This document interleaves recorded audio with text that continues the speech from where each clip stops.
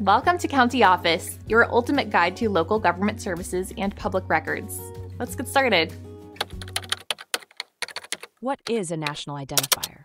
A national identifier is a unique administrative identifier assigned to individuals within a country.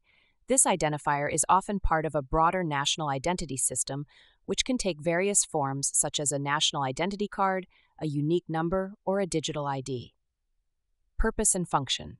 National identifiers serve multiple purposes, including verifying a person's identity, citizenship, and eligibility for various services.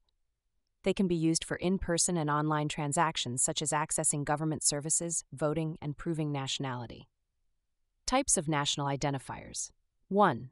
National identity cards. These are portable documents issued by a government containing personally identifiable information, PII, such as full name, photograph, date of birth, and nationality. They can also include biometric data like fingerprints. 2. National Identification Numbers. These are unique numbers assigned to individuals, often as part of an integrated national civil registration system.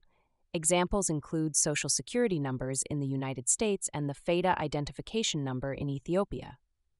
Controversies and challenges.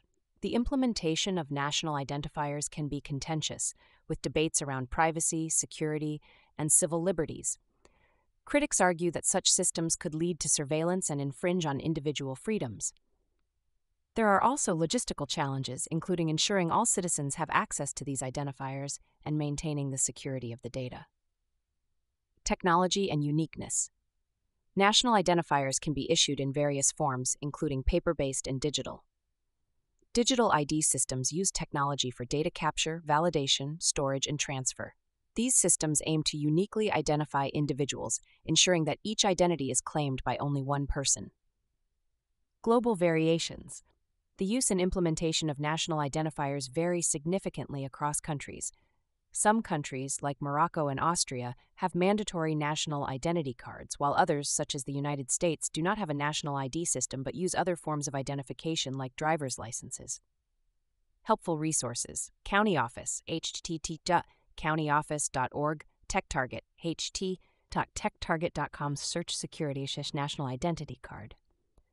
ID4D World Bank, A ID4D World Bank types ID systems.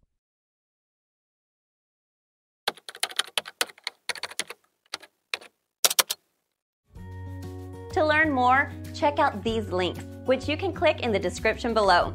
And feel free to comment your questions. We're here to help. Thanks for tuning in to our video. Please like and subscribe and leave a comment below. See you in the next video.